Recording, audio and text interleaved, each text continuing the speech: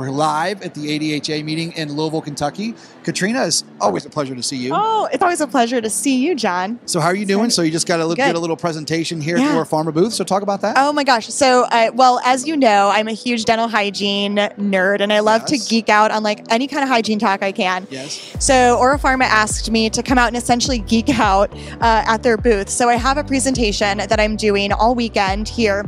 Every hour on the hour, uh, called Perio Bugs and Subgingival Drugs. And uh, it's really essentially just kind of a walkthrough of the microbiome associated with health producing and then disease producing pathogens Yeah. um, and how we at OraPharma are working to kind of help address that disease process. So it's it's been fantastic, and quite frankly, you should see the the eyes just light up and sparkle in these hygienists when you start talking about all these pathogens. They love geeking out on this.